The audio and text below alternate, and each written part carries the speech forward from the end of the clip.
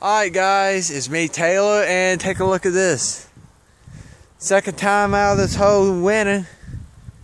Foot of snow.